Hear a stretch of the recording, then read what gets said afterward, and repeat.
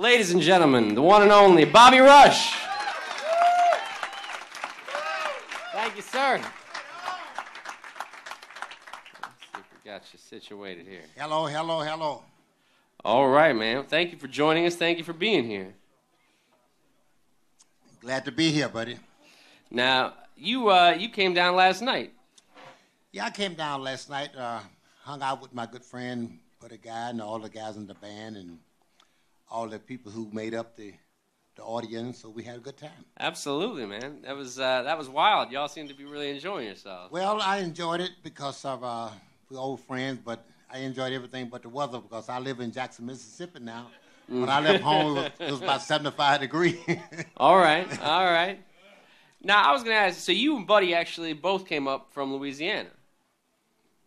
yeah, our, I was born in a little place called Homer, Louisiana. But I left in 1947. Went to Pine Bluff, Arkansas with my father, who was a preacher, pastor of a church, minister. In 1951, I moved to Chicago. I lived right here for 48 years.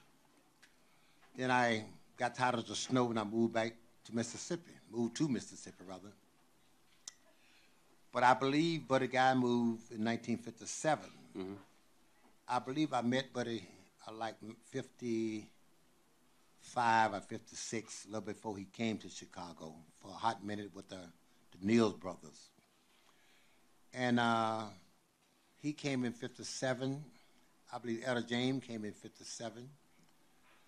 Uh, Little Walter, myself, Muddy Waters, Willie Dixon, Bo Diddley, uh, was all here, and they all was recording at Chess Recording Company, Right. along with Pick Meek Mark and Mom Mabel. But I believe now out of that mold, uh, probably Chuck Berry and I is the oldest one of that mold and the last one left, and then Buddy Guy Yeah. you know. And uh, we we've been friends for, for many many years, about sixty years, I guess. and uh, he is the oldest. All right.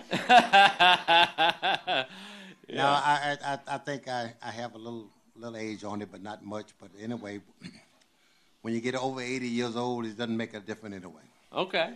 You know. Now, do you remember where you first met him? You I believe it was in Baton Rouge, uh, in Port Allen, across the river from Baton Rouge, in a place called Pie Main, little little joint over there. We met over. I went to see him over there myself and the little guy.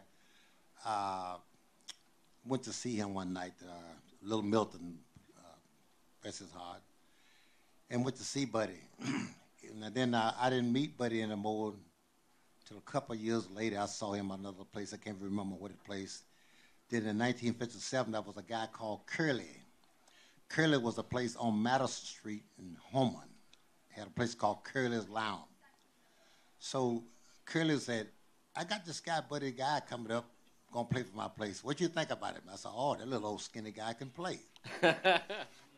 and I've, uh, he went to play for the guy for about two or three weeks, and Buddy kicked a hole in the wall. and he called me, said, Buddy, he said, Bobby Rush, you got to come get this guy. He done kicked a hole in my wall. But what Buddy was doing, he was playing and he was kicking feet in the wall until he knocked a hole in the wall. you know? All right. and, and that's when that's when we come real tight because he knew the guy that I knew the guy well that he was working for. Sure. And then we come to be friends, and he went his way, and I went my way, doing what we have to do with Chess Recording Company. He's played with many guys, but I can tell you that uh, he's one of the few guys who came from nothing to make something out of himself. Because if he like me, he probably can tell you the story better than I can tell you. But we weren't always making money, man. It was about the love of the music Sure. you know. Same way with me. He, he, I don't know his first guitar, but my first guitar was an old guitar I made out of one string on the wall. I put a brick at the top and a ball at the uh, bottom of it. Until one day the brick fell out and hit me in the head. Started me to bleed, and then I was smart enough to put the brick at the bottom and All the right. ball at the top. then I come up with a different sound. You know, that old And that's what that I got that sound. And so I, so I was playing harmonica and the guitar and all that time. So finally, my daddy uh, had a brother. He's my uncle. He had a uh, brother. His name was Son Scott. He gave me a guitar. I was about seven, eight years old. He said, uh, "I got a guitar. I may give it to you, boy." He was about 15 years old, older than I. And I noticed he liked the little girls. So when the girl was coming around, I would tell him, I call him son. I said, son, there's a girl over there. He said, wow. He would go take talk to the girl, and while he was talking to the girl, he let me have his guitar. and other than that, he wouldn't let me play it. So I went over and played the guitar. Finally, he gave me the guitar. And I brought it home. My daddy being a preacher, I hid it in the loft. It was in the country. Hid it in the loft where the sun got to it, it whopped the neck up, and I would take it every couple of days and put it in the horse trough where we getting water to the cows and the mules and the horses, and I would put in this water, and the old neck would straighten back out. I said, wow, and I would string it up and had those, those dead strings on it, but it sounded pretty good to me. So finally, my daddy told me, "Say, hey boy," I said, "Yes sir." He said, "Bring me that guitar. Let me play it for you." I didn't know he knew I had a guitar. and he said, Let me play a guitar for you, boy. I used to play a little song for a little lady when I was a little older than you. Well, I wanted to hear that. I got real close to him because I know he's going to talk about my mama. I thought I either going to sing, you know, yeah. glory, glory, hallelujah, yeah. when I laid my burden down, that kind of thing. Mm-hmm. But no, he said, let me sing this song. In the back of our house, there was a tree pecan tree, and another tree we call it chinky A little bitty thing, look like a little pecan. And uh, he said, let me sing this song. He started to sing. He tuned the guitar up. I said, wow, my daddy tuned the guitar up. I'm going to hear me some gospel. I hear about my mama now. He said, me, my gal, with the chinky pin hunting. She fell down, and I saw something. I said, Dad. I said, sing it again. now, in my little mind, I wanted my daddy to sing the song. What I wanted him to do is sing the other verse. Now, I already know she fell down. I want to know now in the next verse you tell me what he saw. Yeah. I said, sing it again, Daddy. My mom was in the kitchen cooking. He said, me and my dad was the chicken pin hunting. My mama said, eh. me don't sing that kind of song to that But I got real close to my dad. I said, sing it again, Daddy. He said, me and my gal went to chicken pin hunting. She fell down, and I saw something. I said, Daddy, I didn't want my mama to hear me. I said, how big was she? Oh, she's old, boy. She was fat, big old fat girl. Weighed about 350 pounds. I said, 350 pounds? I said, what she had on? He said, nothing but a dress, boy. Nothing but a dress. In my mind, big fat lady falling down. Nothing on but a dress. Now I can just see it right now, you know. Just see that, you know. That's something to see, you know. I said, sing it again. So by that time, my mama said, oh, he didn't pay my mama no attention. He had his hat on, just come out the cotton field with his overalls on, been picking cotton all day. He said, me and my guy went to chicken pin hunting.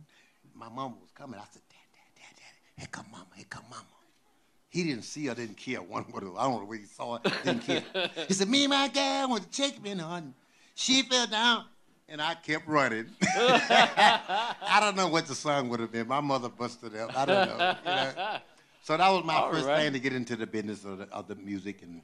All right, man. So, my, so it was in your family. Oh God, man, my daddy was the biggest inspiration to me because he never told me to sing the blues as a preacher, but he never told me not to sing the blues. All right. So here I am. I'm a blues All man. right. Indeed. Indeed. Now I uh, I was gonna ask, so you also you got an early start. You had a band pretty early on there with uh, Elmore James. Is that right? Yeah, man, Elmore James. Huh. You don't want to know the story about that. No. You do. I was about 18, 19 years old. Elmore James, not that much older. You know, I'll get you the age in a minute. But I needed a, a guitar player. I had Boyd Gilmore, who was Elmo James' first cousin, he told me that he taught Elmo James how to play a slide. And he was a good slide player. Boyd Gilmore, I'm talking about. But I needed Elmo James because the guy wanted to pay Elmo James five dollars a night, and I had three days of fifteen dollars. Elmo Jane wanted twenty five hundred dollars, twenty five dollars, not twenty five hundred, twenty five dollars. I said, Elmo Jane, I can't pay it. All I can give you is five dollars a night, five dollars a night. And it's in Pine Bluff, Arkansas, a place called Jackrabbit. He said, I can't do it. I just can't do it. I got to have twenty-five dollars. Got twenty-five dollars for the whole weekend now. I say, I say, Elmo, I just need you so bad. By that time, uh, that the a gentleman was with me.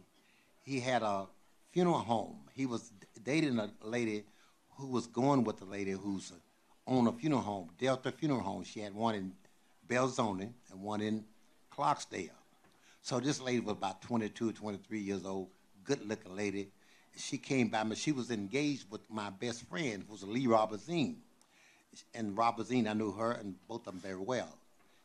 And I was sitting there talking to Elmo J. So, wow, who is that pretty lady there? I'd do anything just to talk to her. I walked away. I said, "What you what you say?" That's my friend, lady. Yeah. This this bad story. Uh, And I said, "Do anything."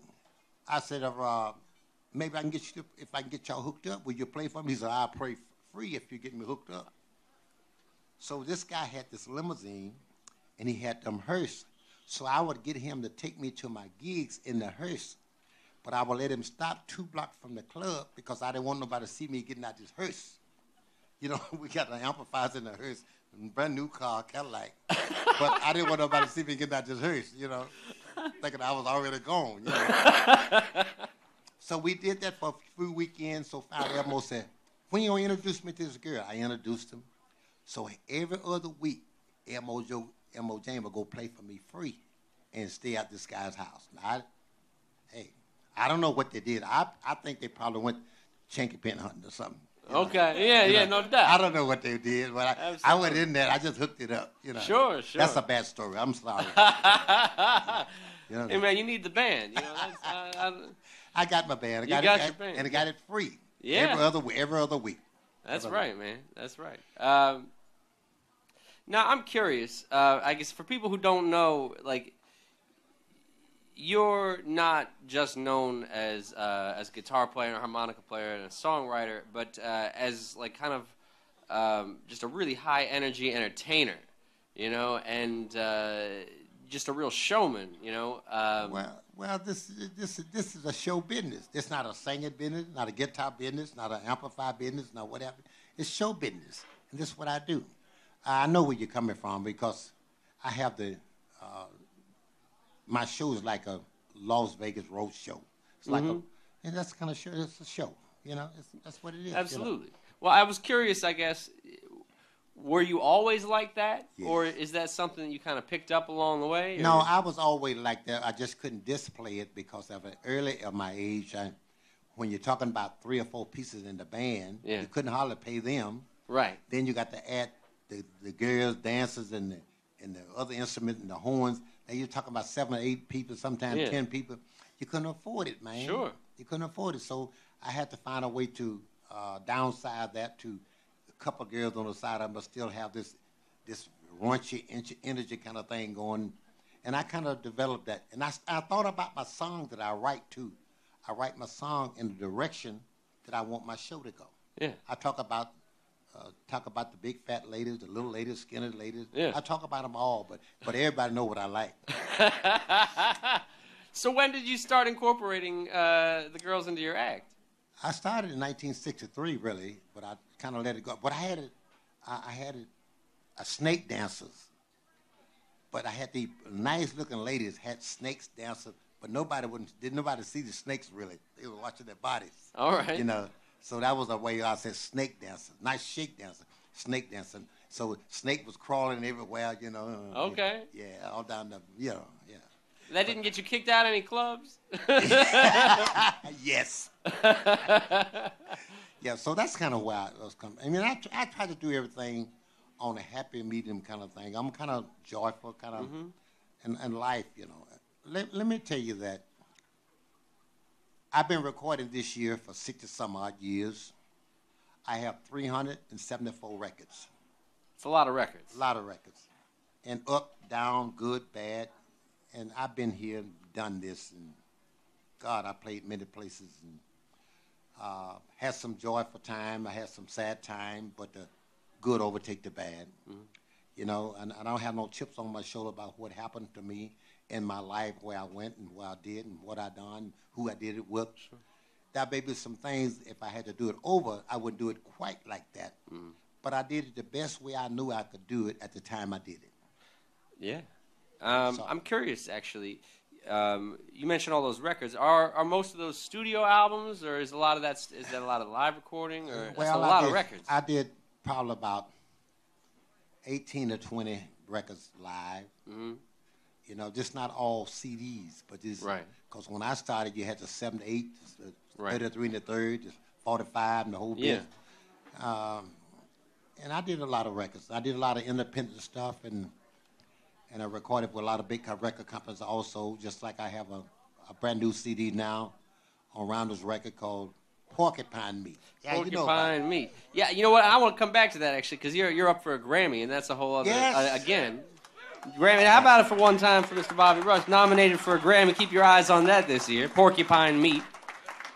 Well, this is my fourth time up for Grammy, but I believe I've been in the run of the nominated for blues artist. I believe it's 27 times. I believe I won 18 out of 27. Now I'm up. Now I'm up for a Grammy. We just hope to bring it home. Absolutely, man. We just uh, hope to bring it. Even if I don't bring it home, I'm a winner because I'm in the race. Absolutely, man. That's uh, that's already a rare rare honor. Yes. Um, yeah. So actually, you know what? Let's talk about porcupine meat for a minute. All right. Now I, I saw you said uh, it ain't too fat, ain't too lean. Is that or too, too lean? To th- well, let, let me. See. Well, yeah, you, you, you, you, don't know think about it. I don't. yeah, you know. You you're not a country boy. That's true. I've never eaten porcupine. I, nah, I haven't either. Be honest. I was but what I was talking, what I was talking about, it was example. I'm in love with this woman. That I know she don't mean me no good. I would leave her if I could. Mm-hmm. Like I'm damned if I do, damned if I don't. Sure. Now that's called porcupine meat. Too fat to eat and too lean to throw away. I'm go. afraid if she leave me, she may come to you. Yeah. And you be getting what I know is good, but I can't stand it because she do the things for me and other people too, you know. Yeah. In my mind. Sure, sure, yeah. man. Now, uh, I was going to ask you, you, you tour, you play a lot. You've been, you know, a hard-working man. Um, I played less show this year than I played in probably 50 years, but beyond that, I don't think I played under 200 shows a year for the last 55 years. All right. So that's a grueling and intense schedule. That's uh, murdering. yeah. Now, but it's also like getting into the studio and cutting records is also its own kind of time-consuming process, and a lot of blues musicians will sometimes go you know, for years or even decades without putting out albums, and you've been cranking them out. Uh, is there something about getting into the studio or, or making these records? What drives you to keep recording in addition to you know your heavy performance schedule? I think because of my background, where I came up as a uh, not not a religion, but I am a biblical study, and the Bible is something I use for a roadmap to my life. Mm-hmm from where I should or should not do. But I think what keep me enthused because what it could have been. You know, I, I think about where I am. I'm not where I want to be, but I'm close, so closer than where I was. I'm so thankful for where I am because I know that a man, a woman can live a long time without water or food, but you can't live long without hope. Mm-hmm. I'm still enthused about the music and the things that I do. Because uh, someone told me after I was in the business for 25 years, it could have been better. said, Bobby Rush, you're going to be a superstar when you're going to make a lot of money doing this. Well, that would sound good, but I'm going to make a lot of money do what I would do free because I didn't do this in the beginning for the money. I did it for the love of the music. Mm-hmm. And it turned into the money thing. Sure. You know, uh, but I do it for the love of the music, you know because I, uh, as a blues man, I'm a blessed man to be able to cross over and never crossed out. Hmm. I'm, I'm blessed. I'm man. a blessed man. I just thank God for it every day that people accept me for who I am and for what I do. Indeed. Um, so you've written a lot of the material that you've released over the years. You're you're a prolific songwriter as well as a prolific. Yeah, out of out of the four, out of the three hundred something records, I think I've written everything with about three or four songs. That's a lot of uh, that's a lot of writing. now I don't know if people know this, uh, but but uh, certainly your your kind of first big hit was uh, Chicken Head, right? That was the first gold record. First gold record. First gold yes. record with Chicken Head, and it was hard for me to sell that record because I, the guy was with uh, Vee-Jay Records, told me about ten years before I recorded the record. This was in '68, something like '57, '58. I had this song already written. Really, that early? Yeah, I had it written, but but but it wasn't it wasn't Chicken Head. It was Chick Head.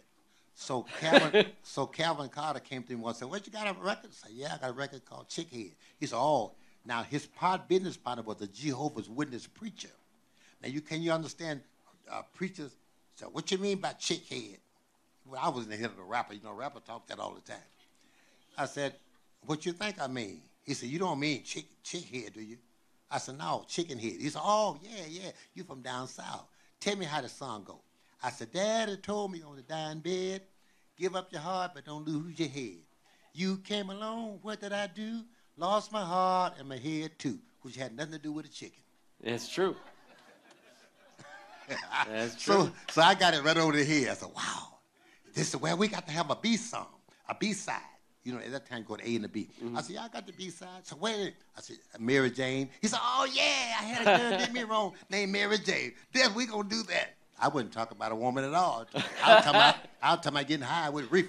Oh, indeed. No, that's, that's So I had two guys didn't know what the hell I was talking about. You know. wow, man. Well, you know, I I, I ain't gonna tell you which one, but I'll tell you that. Uh, but uh, I, I did have one of our door guys before you got here ask me ask me what Chicken Heads was about, and I Yeah, said I don't know if I can tell you. oh, tell it, tell it, tell it. But yeah, you know, Buddy's been playing that song every night, actually. Uh, Well, someone told me he played a lot because of uh, if he played a lot, that's mean he think a lot about me and, and I think a lot about him. It's so it's so nice that he would do that, and it's often nice that he would uh, invite me to his stage and be so kind to me that we're talking about some things that we hope hopefully that we can uh, be friends that we've been all the time, and even even better than that, come together because we not only two old men, we both from Louisiana that's true. you know, and uh, he's a little north of me, so he he's more a little alligator, I'm more a crocodile. All right. now, I'm I'm also a little bit curious. Uh, so you came up to Chicago and you were right there in the thick of everything, you know, uh, recording with all those folks at Chess and, and playing all over town. Um, and then you said it was the weather that made your decision to, to go back to, uh, down south. Yeah, but two things. The weather was one, and I want to be independent. I want to go where I went. First, I went to Philadelphia to Kenny Gamble and Leon Huff, who had Philadelphia records. They had the O'Jays and the Teddy Pendergrass and the whole bit. I went to learn from them, but they respected what I was doing so heavily. They were, I would walk in the studio, they would say, "Do what you want to do, Bobby Rush." All that was good, but I wanted to go there with them so I could pick their head, learn what they was doing, because I liked what they was doing. Sure, sure. But they trusted my ability to write so well, and they looked what I was doing. They just kind of let me have my way. Well, when I found that out, I found out that I couldn't really learn anything uh, with that. Right. You know, because I, could do that in Chicago or wherever. So then I said, well, let me go. I, I, I knew about a guy who had a record company, Jackson, Mississippi, next door to Malaco Records. So I said, here's a guy, probably don't know what to do with me. I could go to his label and put him up as a producer. He won't be producing it, but he won't know what I'm doing. Don't care what I'm doing. Just let me do what I'm doing. Mm-hmm. And, and, and that's what I did because I, I wanted someone who would let me do what I want to do because I want to try this thing out. So I, I record this record called Sue, you know, and, it, and it went like there was a girl that I wrote about. Her name was really her name was Emma Jean, Emma Jean Rainey, but I changed her name to Sue. It was a girl that I know was Sue. She was about 15 years old, and uh, and I was about 15. But at that time, when a girl 15, you 15, the girl knows know things a 25 year old boy had never t- Mm. thought about. So my daddy told me one day, he said, she called me Junior. I'm a junior. I said, Junior, you got to leave Emma Jean alone because she don't mean you no good. I said, what you mean, Daddy? She said, she'll do anything. And wow, what did he tell me that for? Because I was looking for the girl to do anything, man. yeah, so, and that, so, hey, you know, don't tell me to do anything. So Yeah. then I wrote a song about this girl called Sue. And that was your second gold record, yeah? It was second gold record. So I'd say it went well going to the independent label. Yeah, yeah, you know? yeah. I was going to ask you actually if you'd had any trouble once you you know gone independent, but I guess not. This No, seems no, then I came back with this, this uh, the third gold record for me and called Ain't Studying People were talking about, well, Bobby Rush, you ought to leave old Sue alone because she mean this, that. But they were just saying that because they don't have her. Mm-hmm. So I said, I ain't studying you. I wrote a song about that. I ain't studying you. You know? right on, man. And so those was the three gold records that brought me down. And I had in it a lot of things uh, in between and before that did decent for me. A lot of records, a lot of ups and downs. But when you're independent, you go through them ups and downs.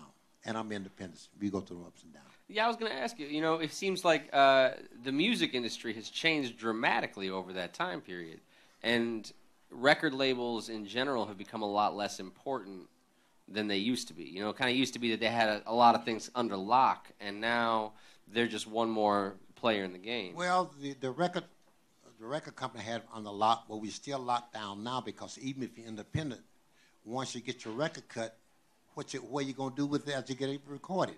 You, the record stores is, is gone. yeah, Uh, the radio who's played the kind of music we do, our buddy do, it's, it's gone. Yeah. They're not. They don't want to play the blues on the radio. That's true. Unless they play by some of the white guys, they play it, and it's you know they play at it. Then then then then the black guys who playing the blues, I blame some of them because they don't stick up with, with the blues or what they're doing and think it's all right to do, because they invented a wah wah, so the white guys could sound like the black guys. Now you got black guy buying the wah wah trying to sound like a white guy who's trying to sound black.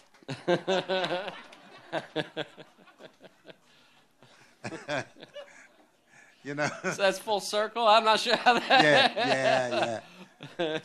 But but but I'm so thankful to sit here and talk to you about the blues because right now I believe myself, Buddy Guy, and uh, is about the oldest one that's in this category right now. We have still have Jimmy Johnson still around, uh, Eddie Clearwater, the James Cotton still around. Now, now, see, this is what we're talking about. See, all of us equally, just like you got five kids at your house. You love them all, but all of them don't have the equal part in the house to play. Mm-hmm. See, you can teach a man how to play a guitar, how to blow a harp, or do whatever, but you can't teach a man to do some of the things that I do, or Elvis Presley did. You got to be born to do that. That's the difference. Okay. That's the difference. Now, you know, a lot of people, uh, a lot of people. So you guys are some of the last remaining of a certain generation of the blues, um, and I guess some people. Buddy talks a lot about being worried about uh, what's going to happen to blues music. Yeah, I, I'm worried about that too. But you know, I was in last night with Buddy Guy, and we had some some private talk and about different things about our life, what we've been, what we done, what we didn't do, what we should have done, what we could have did, shoulda, coulda. Yeah. But overall, I don't know where this music going, but it's going to go someplace. I don't know where it's going to go because it always been out of the, the black entertainers' control.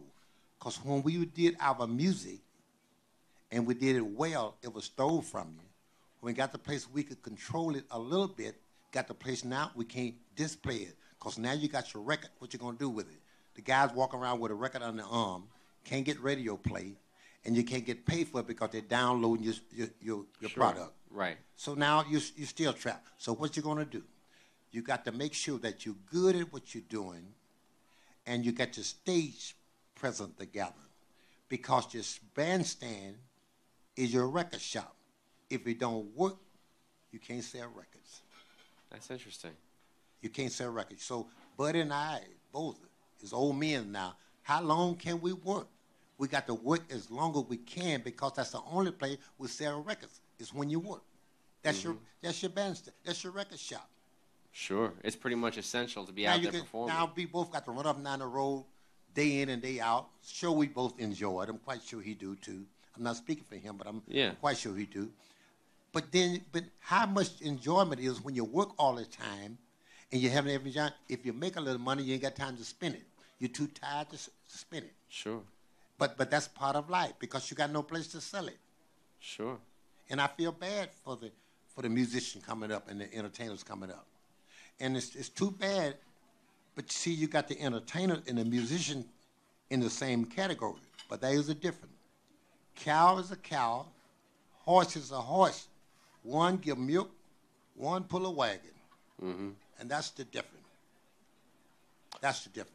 Which one's the cow in this? the, the, the, the, most of the time, the entertainer is the cow. Give, Okay. entertainer give milk.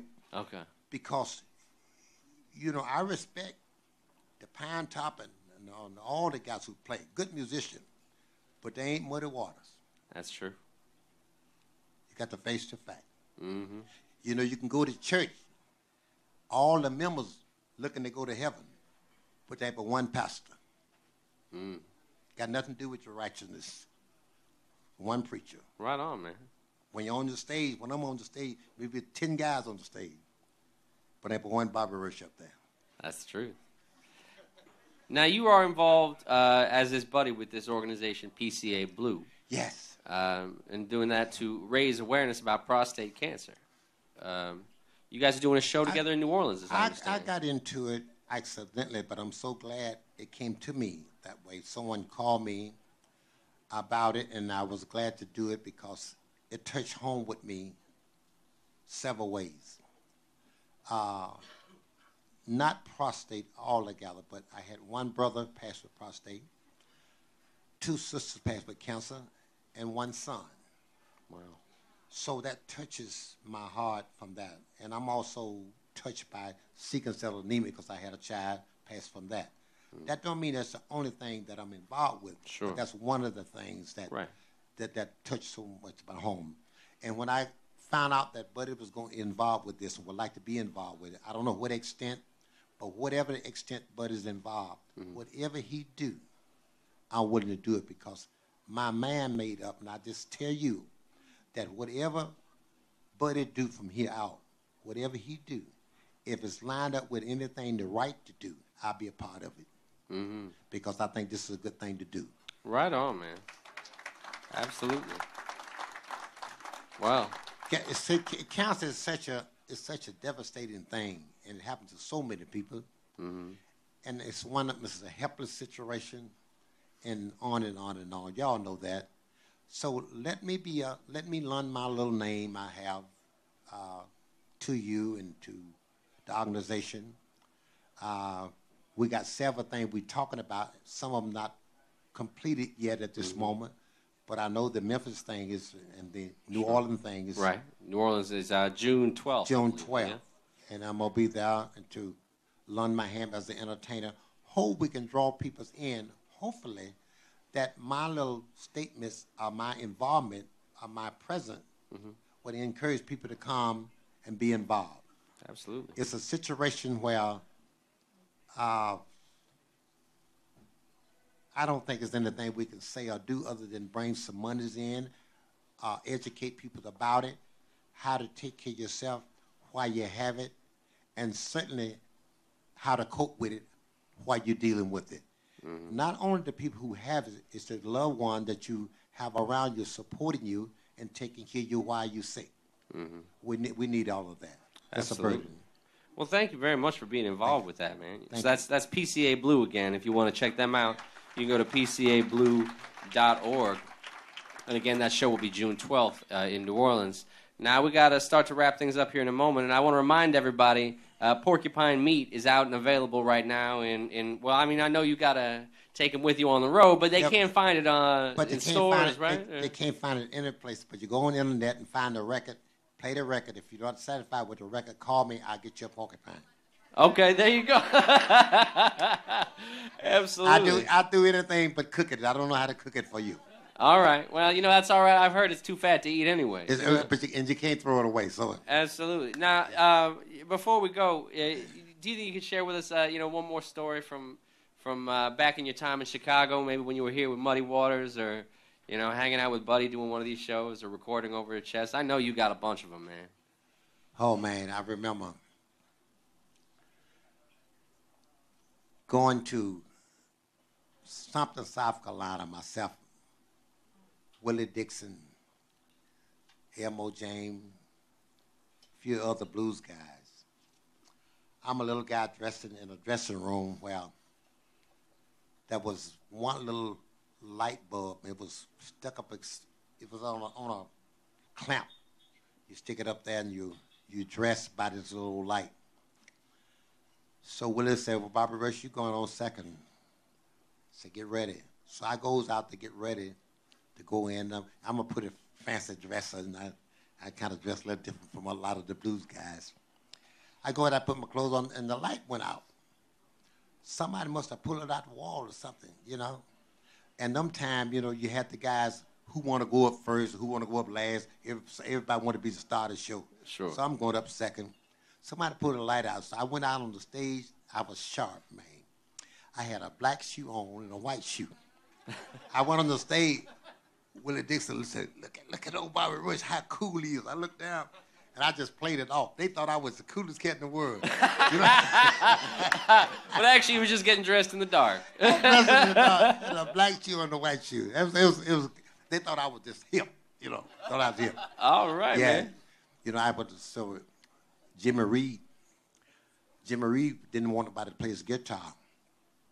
So Jimmy Reed was playing, Ah, baby, you don't have to go. Jim Reed said, Mama Rush, talk out his nose. Go to the store and get me some whiskey. He would give me a dollar and a quarter to go get him some Rothschild whiskey. And after I would, after he would drink a couple, couple shots of what have you, then he wouldn't know what he was drinking. So I would go four or five times. He'd give me a dollar and a quarter. I would fill it up half of it with water. And so I would go to the store four or five times. That means I'm spending every other time. That's a dollar and a quarter for me. You know. so I make about five dollars on uh, every day with Jimmy Reed because he was an alcoholic. All right. And you're probably doing probably doing him some good yeah, too, yeah, feeding him yeah, the water. yeah. And he was drinking it watered down. He would say, Mama Rush, you sure buy some good whiskey. so those kind of those kind of stuff I Oh, laugh about and talk about those kind of things. Well, so. thank you so much for joining us here today. Ladies and gentlemen, Bobby Rush. Thank His you. album Porcupine Meat is up for a Grammy. You can follow him on the internet. You can check him out in New Orleans on June 12th with Buddy Guy as part of the PCA Blue uh, Blues Tour to raise awareness about prostate cancer. And uh, thank you so much for being Well, thank here. you, and thank you, PCA, for having me be a part of this. It's going to be great, great, and greater. All right, ladies and gentlemen, one more time, Bobby Rush.